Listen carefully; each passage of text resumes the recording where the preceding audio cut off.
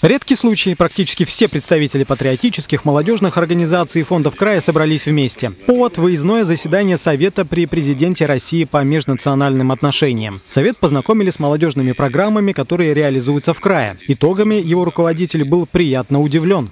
В Алтайском крае для меня было удивительно то, что э, у вас огромное количество э, патриотических клубов и центров. Как доложила Ирина Сергеевна, 1145. Вот когда я бывал в субъектах в Екатеринбургской, в Екатеринбурге, Свердловской области, в Рязанской области, ну, максимум там 400, 300, 500, ну, 1145, значит, это работа у вас э, четкая, внятная и понятная, раз этим занимается. Также отметили, похоже, что нигде в России больше так не используются молодежные патриотические квесты, а между тем эта форма очень популярна среди молодежи. Отметили то, насколько эффективно в крае действует фонд Шаманова «Защитники Отечества», реализуя множество проектов, в том числе встречи с выдающимися личностями.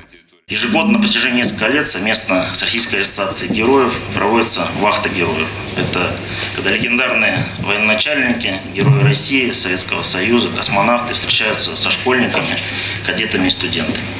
Кроме того, отметили, что Барнаул стал первым городом страны, где появилась аллея памяти легендарной шестой роты. Депутат уверен, Алтай должен и обязательно станет примером для всей страны. Особенно в год 75-летия Великой Победы, когда во всех регионах усиленно ищут новые формы для патриотического воспитания молодежи. Илья Кчетков, Александр Антропов. День с толком.